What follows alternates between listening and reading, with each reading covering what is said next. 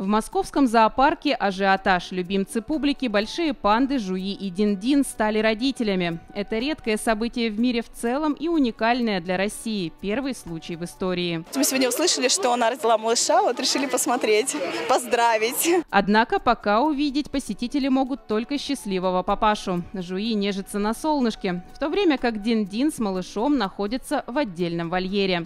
Их оберегают не только от слишком пристального внимания публики. Сами зоологи пока стараются не беспокоить.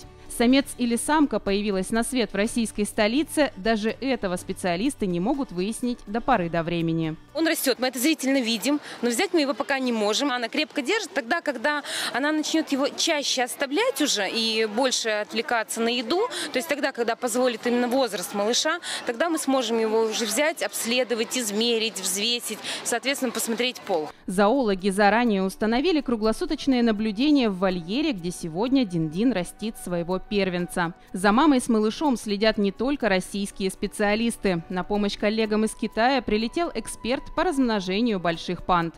Все они были готовы к любым неожиданностям, но роды прошли спокойно, и медведица сразу приняла детеныша, чем приятно поразило сотрудников зоопарка.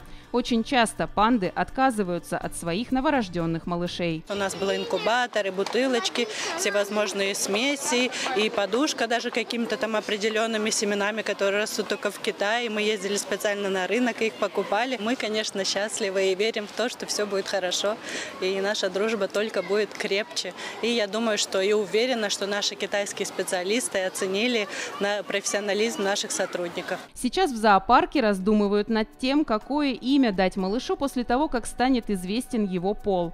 Но окончательное решение будет за китайскими коллегами. По закону все панды мира принадлежат Поднебесной, вне зависимости от того, где они родились. А значит, и этот малыш через несколько лет, вероятнее всего, вернется на свою историческую родину.